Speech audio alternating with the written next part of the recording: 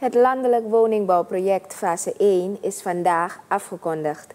Eigenaars van 600 percelen te Reeberg, waar vandaag het startsein is gegeven, zullen de kans krijgen om hun huis op te zetten binnen het landelijk woningbouwproject dat wordt gefinancierd door het ministerie van Financiën en Planning. Ministeriat Nur Mohammed van Openbare Werken zegt bijna de hoop te hebben opgegeven in het project. De realisatie van de opdracht die door zijn ministerie wordt uitgevoerd, was een van de grootste vooruitzichten bij zijn aantreden. Tussen nu en 2025 zullen ongeveer 25 woonoplossingen worden ontworpen. In deze eerste fase van het project worden de percelen bouwrijp gemaakt. En vandaag gaan we inderdaad start zijn geven aan één van die vele projecten die eigenlijk geen kans meer hadden. Alleen onder goed bestuur van de regering kunnen dit soort projecten kans hebben. Ik ga u eerlijk zeggen. Alleen onder goed bestuur. Geen onderhandse zaken, geen friends en dat soort zaken. Vriendenzaken. Want dat hebben we geleerd. Is mislukt. Is mislukt.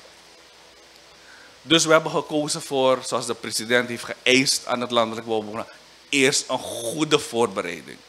Twee keer, drie keer, vier keer. Meneer Romy baalde al, dacht ik met zijn team. Goede voorbereiding en dan starten we. En ik ben trots. Ik ben inderdaad trots.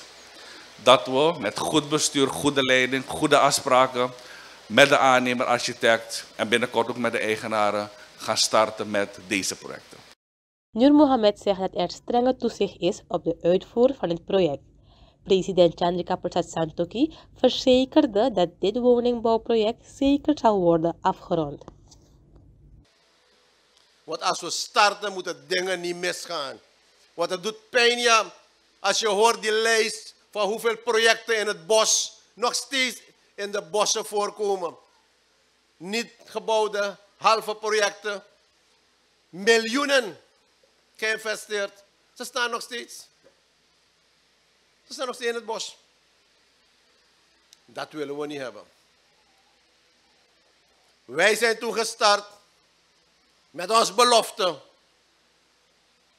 Laten we iedereen een woningbouwperceel geven. Jullie weten ons belofte. Alle jongeren moeten dat krijgen.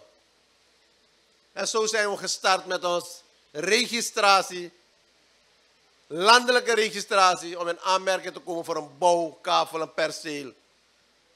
70.000 mensen hebben geregistreerd. En inmiddels meer dan 30.000 hebben al gehad. Santoki zegt dat er een oplossing zal komen voor de mensen die hun woning willen opzetten.